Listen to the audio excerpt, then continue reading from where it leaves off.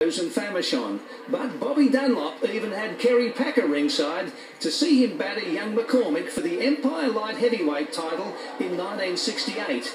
It was a hard fight, especially for McCormack, as Dunlop discovered a couple of years later. When I went over to uh, London to Solomon's gym there and uh, I had a look around there and I made inquiries and uh, how to get in touch with uh, John McCormack. They gave me an address and I went round there and knocked on the door Anyway, this bloke comes to the door, grey, his hair's just completely grey, and uh, says, John McCormack. He said, I am John McCormack. Oh, jeez. I couldn't believe it. The Empire title capped a rapid rise for Dunlop. He was a good boxer and not afraid to mix it, as he did beating American heavyweight Levin Roundtree. He was also superbly fit, as Ern McQuillan Jr. recalls. Bobby was a uh a fanatic for fitness. You never had to push him.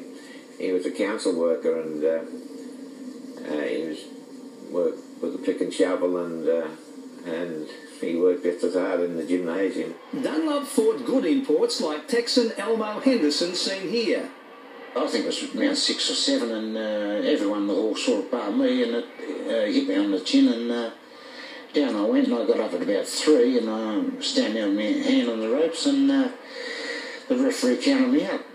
So I was quite angry about that, and uh, it, uh, I uh, we an altercation in the dressing room. I uh, tried to get hold of him and uh, punch his lights out, but uh, they got the police and all sorts of drama. So they arranged for me to fight him again, and I just punished him. I, you know, I stood on his feet and elbowed him and done all sorts of terrible things to him. You know.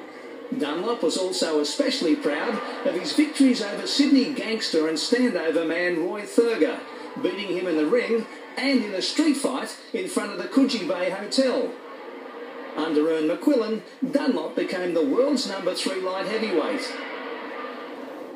In 1969, Jose Torres, the great Puerto Rican world champ, visited Sydney.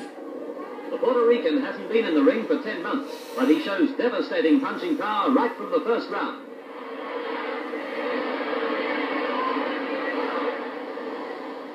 Overweight and supposedly washed up, Torres sprung a huge surprise on Dunlop on April Fool's Day 1968.